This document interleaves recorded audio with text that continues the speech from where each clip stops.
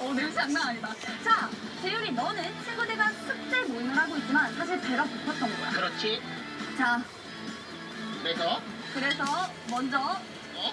청국장을 한입 앞에 먹고 청국장을 싸온 거야, 그렇지? 한입 먹고 숨만 쉬었을 뿐인데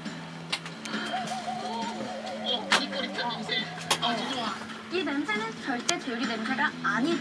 아, 그렇지. 자 그리고 도시락 중에 반찬을 쌓았는데 반찬이 취두부인 거야. 하필 엄마가 그렇지 취두부를 쌓았네. 자, 아, 국물이 많다. 어, 자, 그렇지? 한 입 먹고 한 입 먹고 어, 숨만 쉬었을 뿐인데 어?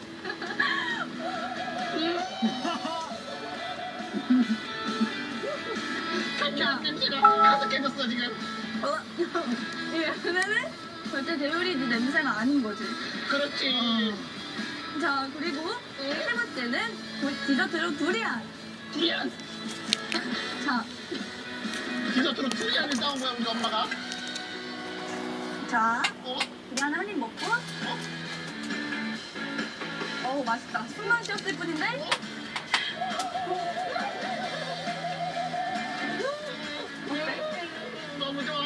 이 냄새는 재율이 네 냄새가 절대 아닌 거지. 그렇지. 이게 내 입은 조금 고통스러울 수 있지만 내 이미지를 지킬 수 있는 완벽한 방법이네. 이 방법 좋다. 아니야.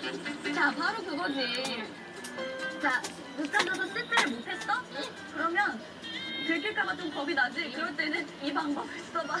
더한 냄새로 해결해. 아니야, 이 방법 되게 좋다. 이 방법으로 해야겠다.